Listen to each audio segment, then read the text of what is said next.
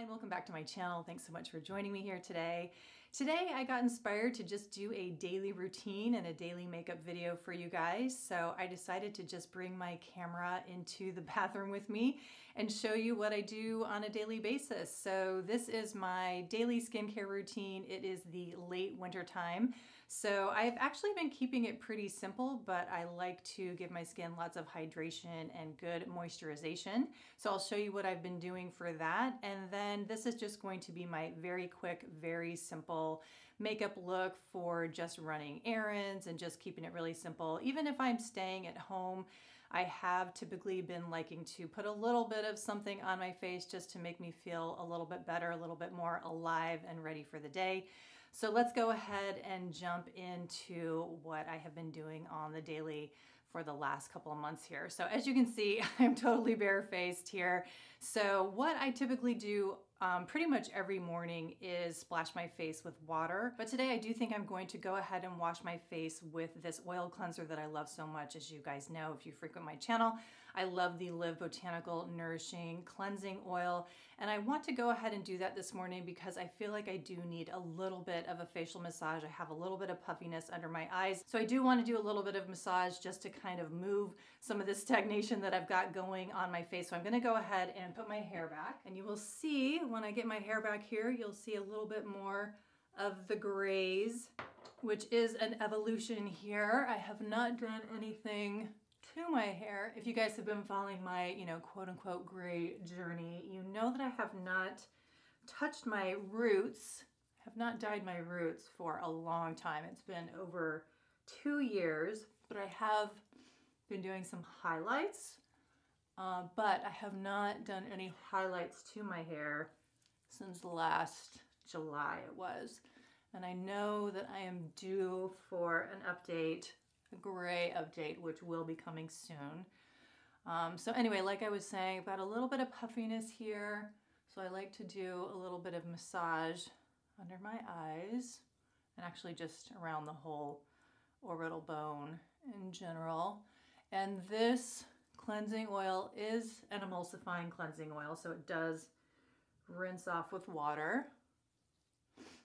And it smells so beautiful. That's why I like using it. I like using it at nighttime as well, but I do like using it in the morning because this scent is just really, um, it's just very enlivening. It just kind of wakes you up with this beautiful scent of lemon balm. It has a really beautiful scent of, has that really refreshing scent of lemon, but not overpowering. It doesn't smell like a cleanser, you know? So that does it for the massage. So I'm gonna go ahead and rinse this off now.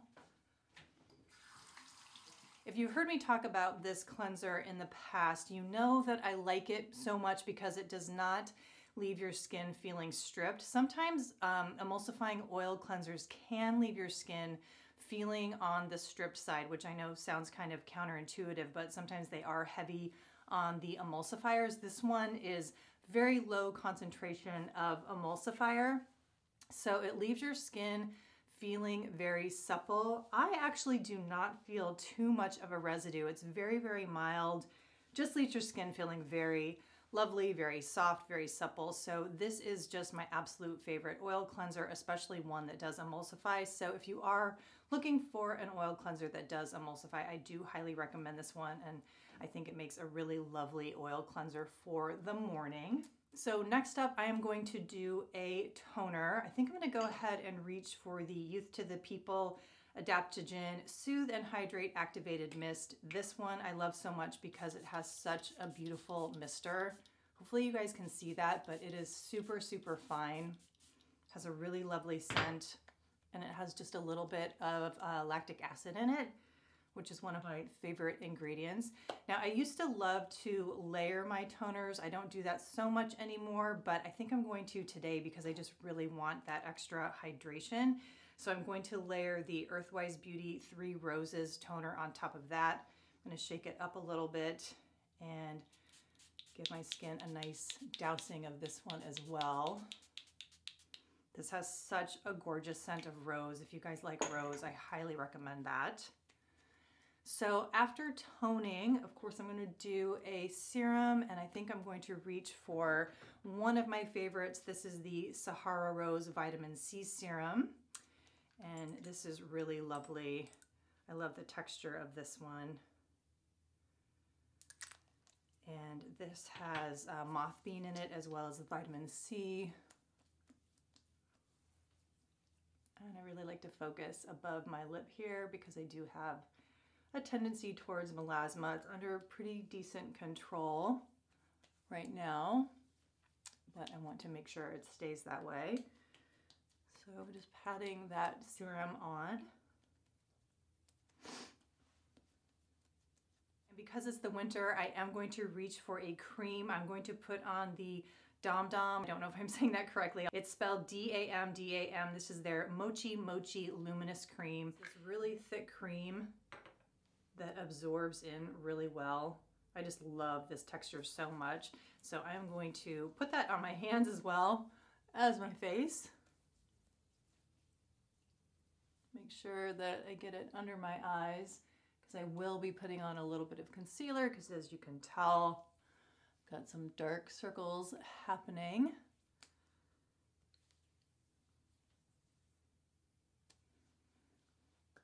And this cream just feels so amazing. I love the texture of this. It's um, it's kind of bouncy and whipped frosting kind of texture that just feels so good going onto my skin. The scent is very, very light. It's kind of got a little bit of a grassy scent that is just very refreshing, uh, very inoffensive, very, very light, just almost barely perceptible but definitely there, but then it dissipates really, really quickly. So I really, really love this cream. I think I randomly found it on the Sephora website when I was looking specifically for a cream for the wintertime. I purchased this before my no-buy and I think I got it during the Sephora sale and I'm just so happy I got it because I really really have been enjoying it. It's just that perfect texture.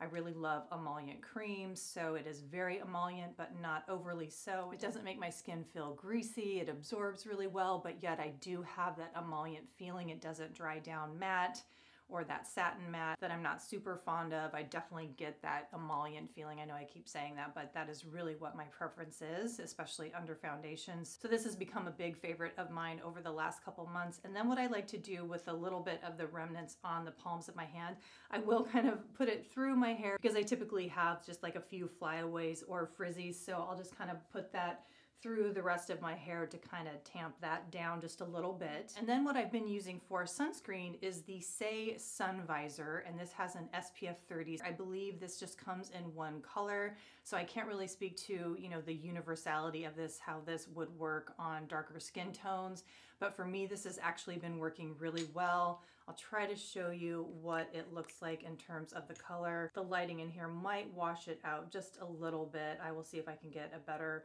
cutaway for you in terms of the color. As far as the texture goes, it has a really thin texture. It goes on really smoothly. It has a really nice slip to it, and it does have a thin texture to it. And again, like I said, I like to make sure I get it on my upper lip here because that is a problem area I actually do put it on my lids. I have not had any issue with uh, irritation. All right, so I'm just gonna back away here and make sure I'm getting this applied properly. As you might be able to tell, the finish of this is extra, extra glowy, extra, extra dewy.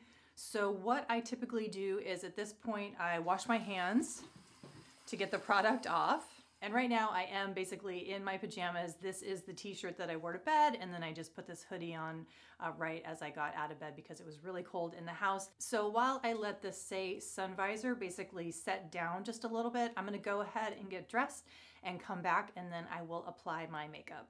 So the first thing I'm gonna do is apply some concealer and typically on a day-to-day -day basis, if I'm just running around, like I said, doing errands, which is what I'm going to be doing today. I typically don't wear concealer because I just find it to be too high maintenance, but I have actually been using the Kosas concealer. This is a new product to me. Again, like I mentioned in that wish list slash no buy video that I just did, um, I did go a little crazy on some makeup purchases before the new year. The Kosas concealer was one of them. And I have found this to be so easy to use that I actually have been reaching for this on a day-to-day -day basis. So I'm gonna go ahead and apply this and I'm going to attempt to do that with this mirror that I have here so that I don't have to keep looking into the viewfinder. But this applies very easily. And by the way, I am 3.5W. And then not only do I put it under my eyes, I just kind of take it down my face a little bit here. And then I do like to still use the Rare Beauty concealer brush. And this concealer just blends in really well and really easily. And there are some days where I feel like just using this concealer is enough. Like I can just do what I'm doing here, go under my eyes, kind of along my nose and around my mouth and call it good because it just blends in so nicely and really naturally. So you can kind of just do that like spot concealing and even get away without using um, any other foundation. So I really, really like this concealer a lot. Now I still really like the Rare Beauty one, but I will say that the Rare Beauty color that I have, the shade that I have, I think might be just a little bit too light. So I have just been reserving that concealer for days that I'm filming because it is higher coverage, I would say, than this Kosas one. And also because the fact that it is a little bit lighter, it tends to just be a little bit too, I don't know if dramatic is the right word, but it just lends itself uh, to look a little bit better on film than it does in real life. The Kosas one, on the other hand, is really great for, like I said, in real life, day to day, supernatural, I just really, really love how it looks. I don't know exactly how it's going to translate on camera. I think this is the first time I've ever used it on camera, if I'm remembering correctly.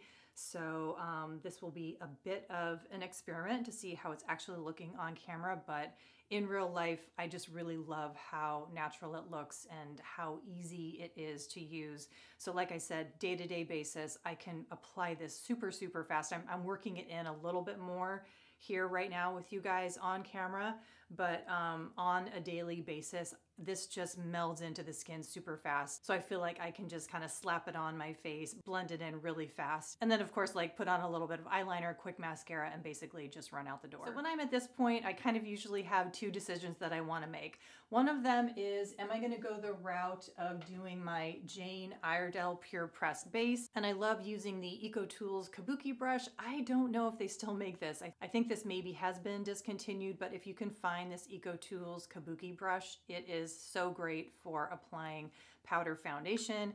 So what I typically do is just swirl the Kabuki brush into my Jane Iredale Pure Pressed base. And then after I do that, I will take a spritz of whatever toner it is. Typically I'll just use a hydrosol, but I do have this at the ready right here. And then I will spray the brush with a couple spritzes of whatever toner I have handy and then of course I will apply it to my face. I think what I'm going to do today, just so that I can show you what the Lisa Eldridge foundation looks like on my skin, I think I will go ahead and demonstrate this because I actually have been reaching for this quite a bit because it is really easy to use and it works really well with the finish that I have going on my face right now. So because the Saie Sunvisor gives you a really dewy finish, it works really well with the Lisa Eldridge foundation. So the Lisa Eldridge foundation is a matte to satin finish. I'm sure you all have seen other reviews for this foundation. Many people have already talked about it, but it does give a very satin matte type of finish. And so a lot of people are finding that you do need to have a dewy product and emollient product underneath it. So that's why I have really been enjoying using this on top of something on the dewy side, such as the sun visor. So what I have been doing is just taking a pump of this and then maybe even additional half a pump. And then I will mix it with just the tiniest little bit of the Weleda skin food. So I'll try to show you here just like a little tiny little dollop of it. And then I just blend it in my hands together and then just apply it basically like a moisturizer. And then when it comes to the concealer, I just kind of dab a little bit over. And that's because, and I didn't mention this, the color that I got uh, in the Lisa Eldridge foundation, I believe is number 16. I got the color for True Olive, and I feel like it's a little bit on the dark side, so I just tap it over lightly on the concealer because I just want the colors to blend very seamlessly. I just want it to blend really nicely. I'm not sure if you can tell, but when I look into the mirror over here, I feel like kind of that dewy glossy look that the sun visor gave has now toned down now that I have the Lisa Eldridge foundation on. I feel like that combination of the sun visor with the Lisa Eldridge foundation now looks more kind of just mildly glowy rather than that hyper glossy finish that the sun visor gives. And I just really love that glow. To me, it just feels like that really beautiful lit from within glow. I do have a light on behind the camera, so I feel like it's a little bit exaggerated. I'm never gonna have this kind of light right on me just in daily life, but in kind of more of a natural light, it does just give a really beautiful kind of like I said that illuminated you know uh, lit from within glow and it just looks really beautiful. I have really really been liking the Lisa Eldridge foundation uh, when it is combined with just like I said just a smidge of the Weleda skin food and with something very emollient underneath. On its own, I don't like it. On its own, it is way too satin matte for me. I don't like the finish. If my skin were on the oily side, then I think I would like the finish, that satin matte finish. But for me, with my skin being normal to dry, I definitely prefer to add just a smidge of something emollient, not only underneath the foundation, but I really do prefer putting in just, like I said, just a little bit of that Weleda Skin Food is just absolute perfection. I think not only for the texture, but I think for the color that I got is just maybe a little bit too dark, so I need to tone it down just a little bit. But I think, um, I mean, it's gonna take me forever to get through this because I only need a pump to a pump and a half of it, so it's gonna take a while. But I don't think I would necessarily get a lighter foundation because that combination is just so perfect and I really do love how the color looks and I love the texture with that combination. So anyway, the foundation really has been a big hit for me like I said, when I do just add a little bit of an emollient moisturizer to it. So as I mentioned, I'm just filming my day-to-day -day routine. So on a day-to-day -day basis, I am not going to be setting my under eyes.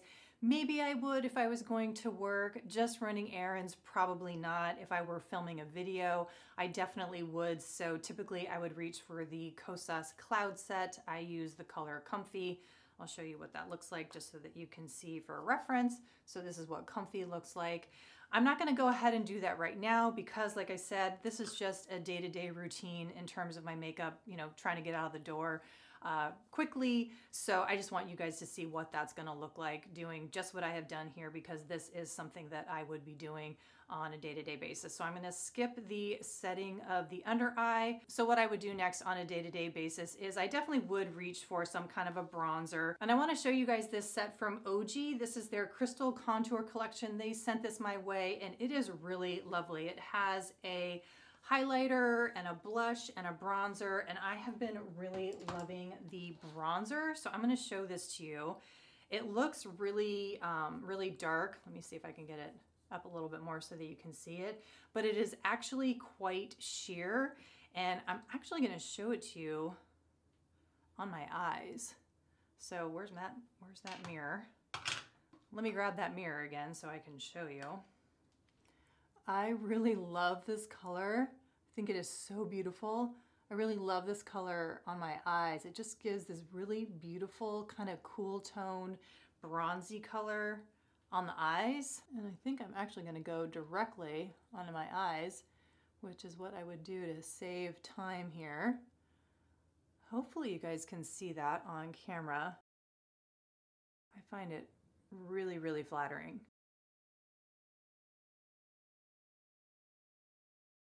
And then of course, let's go for it on the cheeks, which I also find to be really pretty. So interestingly, on the cheeks, it's quite sheer, even though it looks kind of dark in the stick. But so flattering. I really, really love this color. Out of all three products that are in this set, I believe I really find the bronzer to be my favorite. And let's just go ahead and play with the blush. This is Rose Quartz. And I'm just gonna go ahead and put this on my cheeks real quick because we've got it out. Sometimes I'll put blush on if I'm running some errands. It just sort of depends on how pale I'm feeling. And I might kind of swipe this on my lips as well. Because again, kind of just rushing out the door. And I feel like that actually got a little messy. So I'm gonna take that concealer brush and let's try that again with an actual lip brush.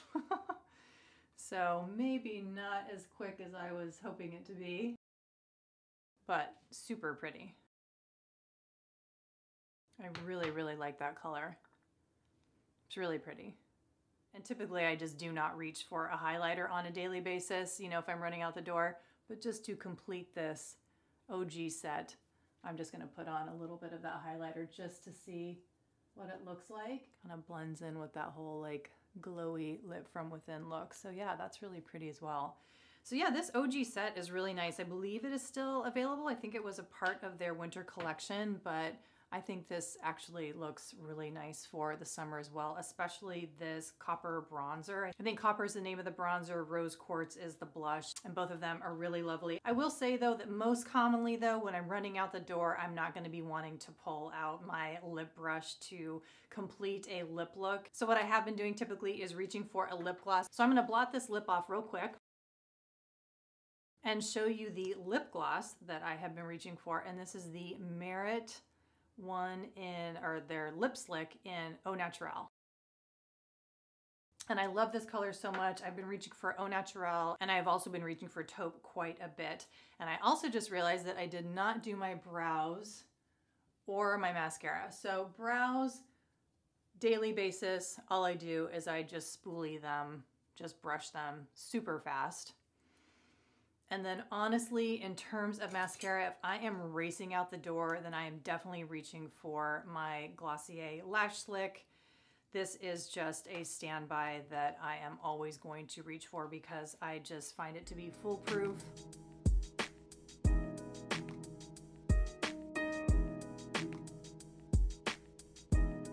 Just super easy to put on and I just absolutely love that mascara. It's just going to be a staple for ever, I think. And then what I've been reaching for almost on a daily basis now, like for the last, I don't know, three to four weeks, is the Victoria Beckham um, Kajal eyeliner in, what is this? This is bronze. This has been such a game changer for me because all I have to do is just lightly touch it to my waterline, barely have to touch it, and it deposits this beautiful pigment. I mean, I have to go kind of slow but I barely have to touch my waterline and then it's done. I mean, I just find it to be so pretty, uh, so user-friendly, and but user-friendly in the way that you just barely have to touch your waterline. I mean, if you go heavy-handed, it's going to be a really dramatic look, which can be super beautiful. But for daytime, again, running errands, you know, meeting a friend for lunch, just being super casual or whatever, uh, and you don't want to go heavy-handed, you just barely have to touch your waterline and you're going to get a nice um, deposit of pigment. So I'm going to put my hair down here put on my favorite little earrings that I forgot about that I just discovered the other day that I haven't worn in probably three years. And then that does it. Just a really easy daytime look. I kind of got a little bit out of order with the lips coming before the mascara and the eyeliner because I went ahead and put that blush on my lips, which, you know, worked out in terms of the color. I feel like the color was really pretty, but I didn't do a great job of uh, staying within the line. So that kind of threw me for a minute, but I really do love that uh, lash lick from um, Merit. I think that the Au Naturel and the taupe have been beautiful colors and big favorites for me to reach for over these last few weeks and definitely months. So as I mentioned, that does it for my daily routine as far as skincare goes and my daily routine in terms of makeup when I just want to get out the door in a hurry and I'm just doing casual things uh, for the day. So I hope you enjoyed it. If you did, please do give me a thumbs up and I will see you in the next video. Bye.